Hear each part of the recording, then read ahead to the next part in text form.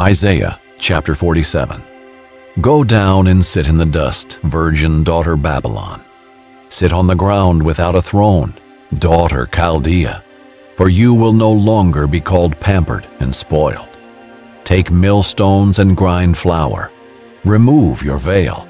Strip off your skirt, bare your thigh, wade through the streams.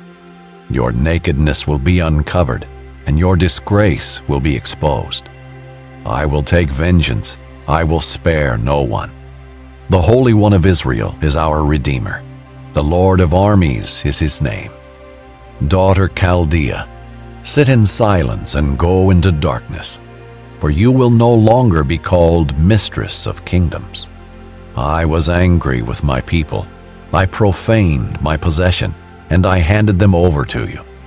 You showed them no mercy. You made your yoke very heavy on the elderly. You said, I will be the queen forever. You did not take these things to heart or think about their outcome. So now, hear this, lover of luxury, who sits securely, who says to herself, I am, and there is no one else. I will never be a widow or know the loss of children. These two things will happen to you suddenly, in one day loss of children, and widowhood. They will happen to you in their entirety, in spite of your many sorceries and the potency of your spells. You were secure in your wickedness. You said, No one sees me. Your wisdom and knowledge led you astray.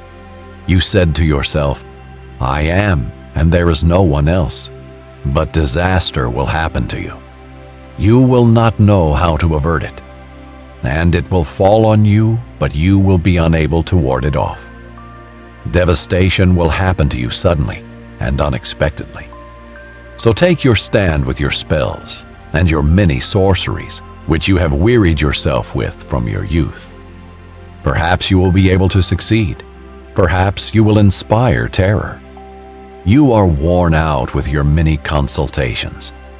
So let the astrologer stand and save you those who observe the stars, those who predict monthly what will happen to you. Look, they are like stubble. Fire burns them.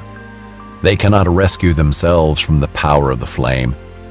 This is not a coal for warming themselves, or a fire to sit beside. This is what they are to you, those who have wearied you and have traded with you from your youth. Each wanders on his own way no one can save you.